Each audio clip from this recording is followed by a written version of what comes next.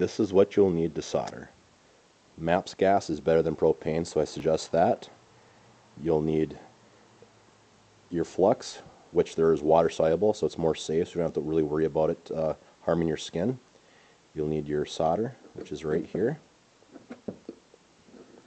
You'll need a 3 quarter inch brush and your half inch brush. That's most common for a home. You need emery cloth, and that's like sandpaper, so when you clean your piping, you want to clean the outside of the piping, so half inch you want to clean uh, the, the ends that's going to be soldered together, and the same with the 3 quarter, and your fitting. So that's the 3 quarter size, and that's the half inch size. So I'm going to clean this with the brushes, and I'll clean that with the sand cloth.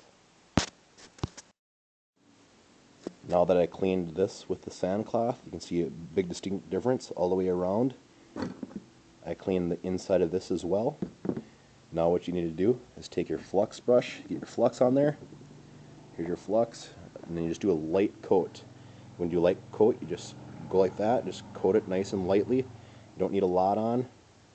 And then you use your other hand too, but I'm doing this with one hand, and you just clean, you know, get it clean, but you do a light coat all the way around.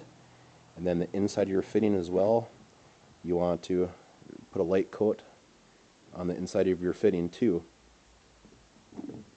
The next step will be putting the pipes together and soldering. When you begin to solder, you turn your torch on as high as it can go, then you light it,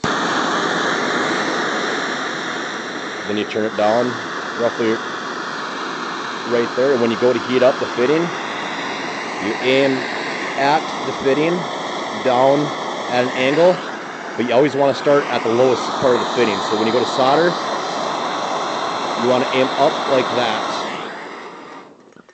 And when you solder, the flux will actually turn uh, almost a silver first. And then when it starts to turn a silver, you keep the heat at it, and then you take your solder and you start up at the top part. And when it starts to puddle and melt in, you'll actually see the beads drop down to the bottom and drip off right when you see it start to melt away and beads down and drop off, that's when you you know pull the heat away, and then you flick the solder, uh, dribble it off, and then you continue on uh, to the upper part because the heat will transfer up.